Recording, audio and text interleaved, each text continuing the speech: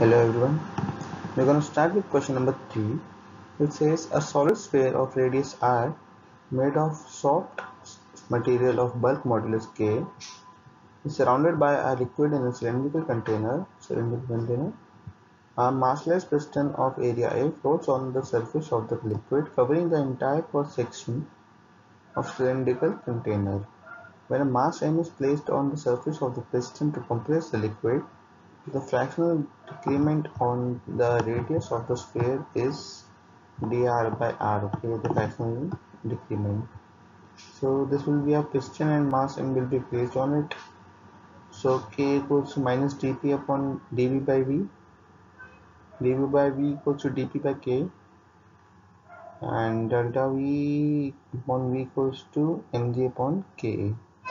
This will be our first equation then this is a bulk modulus so v equals to 4 by 3 pi r cube which is the area of the cylinder. So delta v by v equals to 3 dr by r second equation.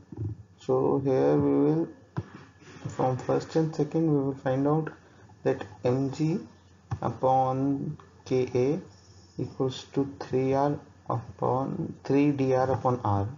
So we will send 3 to the other side Therefore, our answer will be A. Thank you everyone.